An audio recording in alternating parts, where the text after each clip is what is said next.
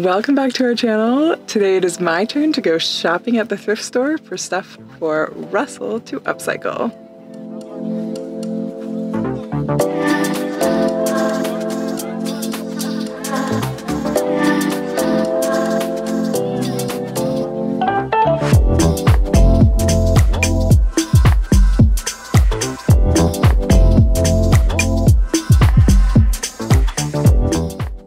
Okay guys, I just got back out of the thrift store. It is so awkward filming in public. I'm not quite there yet, um, but you know, we'll see it goes in the future. I did get some things. I spent I spent 10.50. Here's a sneak peek of one. Um, and I bought one small thing that I have a very specific idea for. So we'll see if Russell will want to do it. It's not something I know how to do, so I'm just gonna kind of give him the idea and see if he wants to do it. Wish me luck. So. So, you went to a thrift store here? Yeah. Yeah, see that guy? I do. He already kind of saw because they're right here. Yeah. But Just, it's just for suspense. Yeah. okay, here's item number one. What is that? It's a mail slot thing, I think. Like put your mail in it. Hmm. But it's wood. It is wood. And it's like quarter inch veneer oak, looks like. Well, Sure. come up with something for that. I'll just go. use it to put things in. Underwear, socks. Okay, here's the other one. Ta-da! hmm. Shoe rack? It's a shoe rack. You It's wood, it's solid wood. this, The so- dowels, those are nice dowels. So you're welcome. Yeah, but I have to figure out what I'm doing though. You can make one thing together or multiple things. Hmm. I figured you could at least get a couple projects out of those. We'll have to see. It depends on the scale. Okay, and I have one other thing, Yeah. but I have a very specific thing in mind that I, I want to. I got creative freedom. You do on those. a pot. So this is the other thing. It's a tiny little vase. What I Oh. want you to do is create like a rain cloud. A rain Um, cloud. here. Can't make clouds, Lindi. I know you think I'm a good. I'll show you. good worker. Hmm. That's all like ceramic stuff. Exactly. Off to your shop. Hmm. Okay. Brought the pieces in the garage. I have a plan in my head. Well, this one I've been directed, so I have to see if it works, but I'll have to drill a couple holes in the bottom and make some kind of stopper for in there. This I'm gonna make into a little side table. It is, I think it's just a pine wood, but it has all these dowels. Um, I think I could do a cool little piece.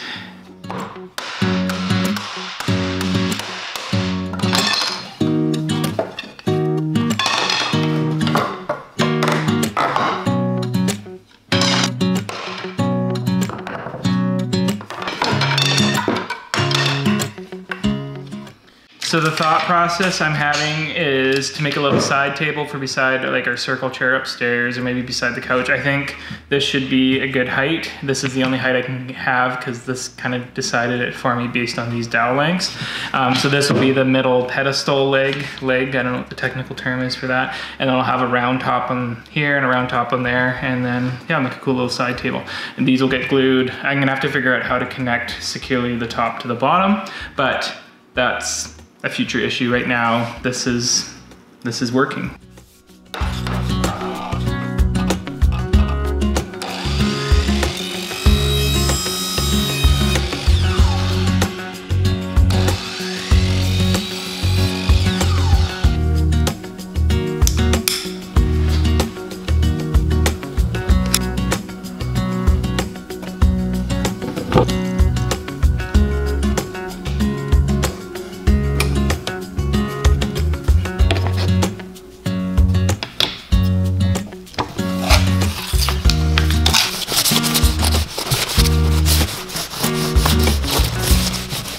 These are the two sides from the shoe rack. My thought process is I don't, like these by themselves aren't gonna be big enough for a top, but if I glue them together, like so, that's actually a decent size. That's about, I can probably get a 12 inch diameter round circle out of the deal.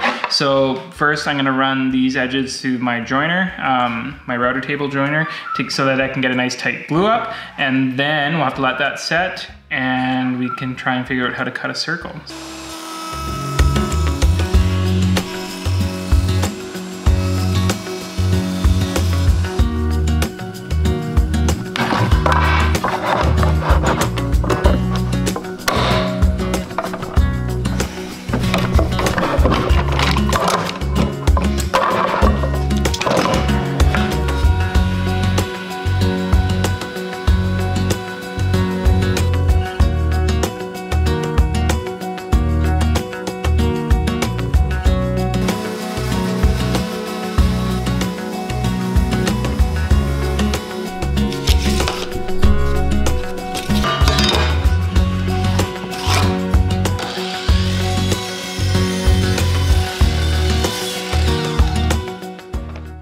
These look great. Got a top and a bottom.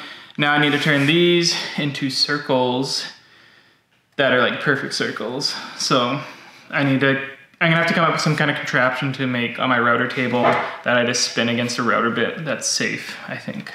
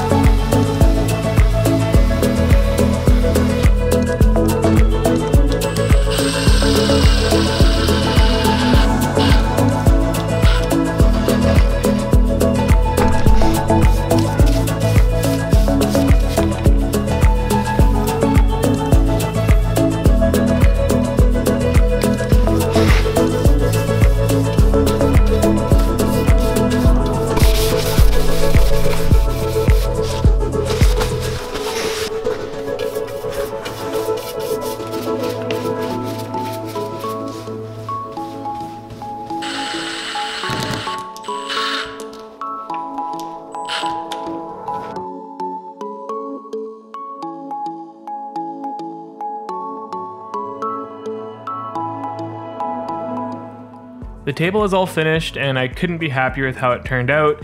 It fits perfectly with the chair and it ties into the space really nice being next to the built-ins that are also the same color and same wood stain.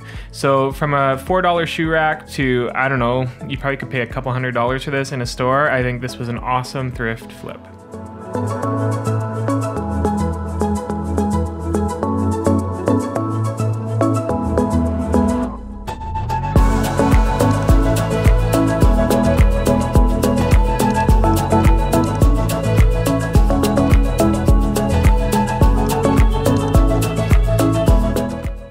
Lindi wants me to turn this vase, vase or vase, I'm gonna go with vase, into a watering can, which seems crazy.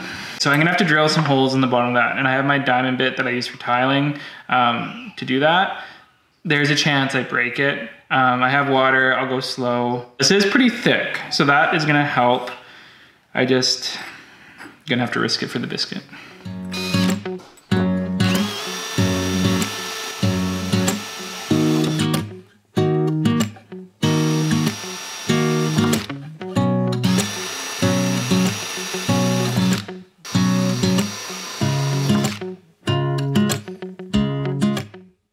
So the way this works is it kind of works, you would dip this in a bowl or pot of water, and then you use like a vacuum, you plug, even with my big thumbs, I can't plug the top. So I need to make some kind of cork system. I tried using wine corks already just to test if that would fit, but they're too small of diameter. So I'm gonna have to make some kind of unit or piece um, to plug this hole and maybe glue it in place. I tried making a dowel. This is from like an old wood dowel and I tried sanding it. I don't really like how it fits. And then when I was going through my cupboard, I found some easy mold silicone putty.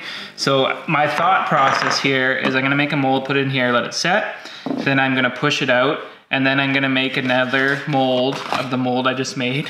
And then I'll pour fast cast into that and then I should have a perfect plug that sits in here. So that's my plan and see how it works. It's a complicated one, but that's how I tend to do things. So, and I think it'll give a really nice look. That's that's ultimately what I want.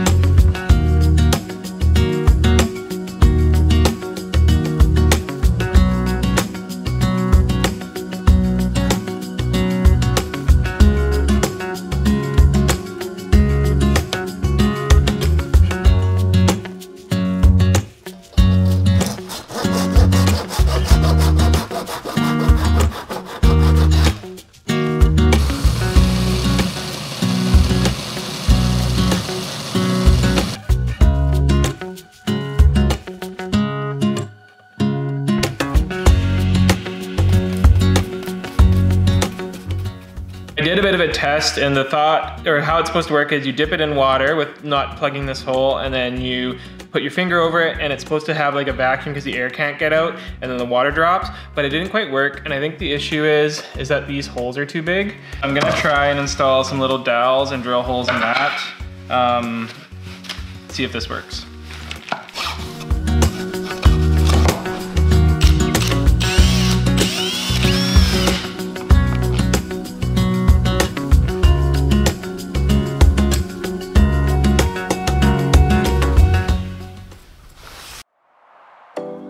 Was a bit of trial and error, but we got Lindi's watering cloud to work, and I'm really happy with how it turned out. I think it's a nice little piece, and I think it would even be used for decor when you're not using it to water the plants.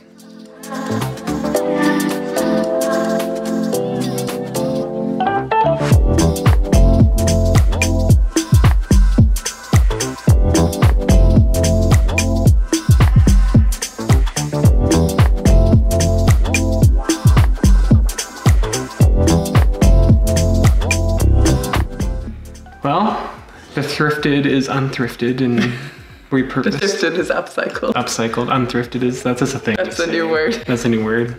No, you did good. I'm happy, and I used. I didn't use the one little thing that you, the mail organizer, but So if you guys, if anyone out there has ideas, for it, we're gonna have to move that over to the next thrift flip. I have some thoughts, but well, I mean, what you did with the ones I gave you was pretty good though. yeah, If you want to see us shop for each other and do another set of thrift flips, let us know in the comments below and let us know what you think of Russell's flips. I Yeah. think he did pretty good. I, I think I won so far. It's not a competition. oh, okay. But if like, it is, we should also take into account the person who bought the more interesting objects. Mm, But so, I'm just you. I could have done cool things with my things, so I'm just saying, like, if it's okay to lose to your husband. if you like this video, please give it a thumbs up. Let us know in the comments. And as always, hit that bell so you can hear more of my husband and I arguing on video. Yeah, and just let me know if I won or not. Thanks for watching.